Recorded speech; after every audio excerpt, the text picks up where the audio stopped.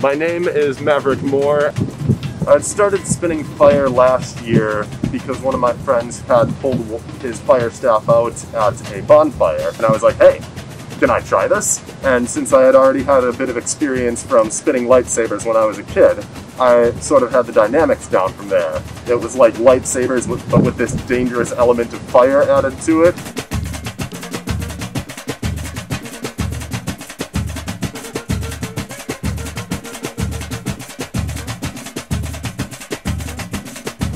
My preparation ritual for spinning fire that involves getting together my friends. I'll text them and I'll be like, hey, going out spinning fire at this time and this location. If you can stop by, that'll be great.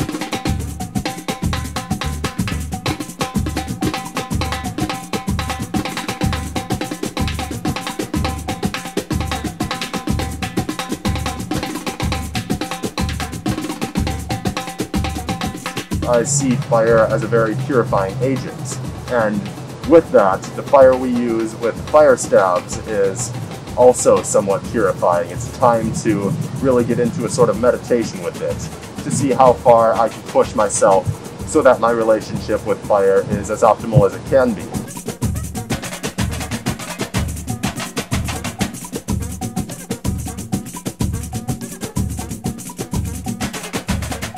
I think the most terrifying part for people is that move from having the practice stick to lighting that stick on fire. If all else fails, just drop the stick.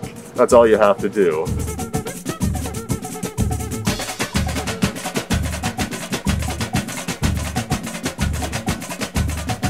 Fire spinning has taught me that I can apply things from one walk of life to another like lightsabers. I never thought I'd be able to use that and bring that up in any sort of setting where that would be useful.